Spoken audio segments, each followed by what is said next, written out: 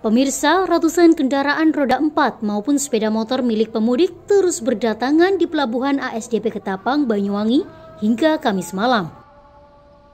Meski masih memasuki hari ketiga pasca Hari Raya Idul Fitri, gelombang pemudik yang kembali ke perantauan di Pulau Bali terus mengalir.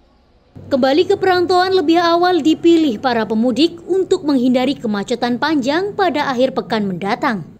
Perjalanan malam hari menjadi pilihan untuk menghindari panas terik di siang hari.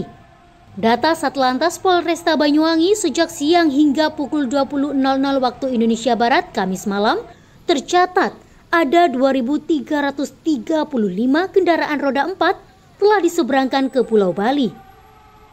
Sementara untuk kendaraan roda 2 tercatat ada sekitar 2.485 kendaraan yang telah diseberangkan. Banyaknya kendaraan pemudik ini membuat seluruh kapal yang sandar di dermaga dipenuhi oleh kendaraan pemudik.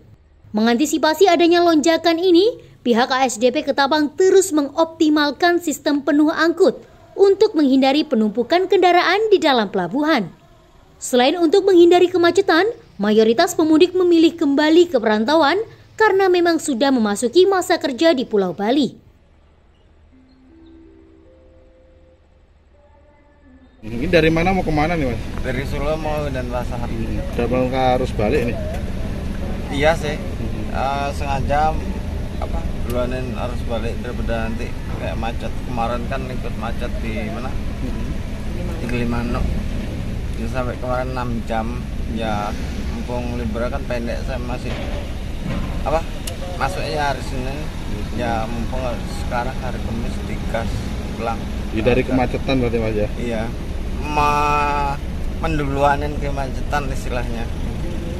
Untuk pemeriksaan kesehatan seperti apa pak? Masih belum di sini. Hmm.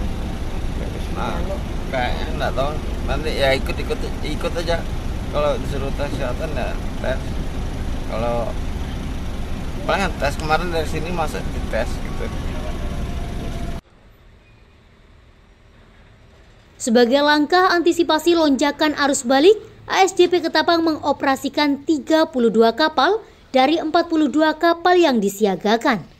Seluruh calon penumpang wajib sudah menjalani vaksin booster atau melengkapi dengan surat bebas COVID-19 bagi calon penumpang yang baru melakukan suntik vaksin dosis kedua.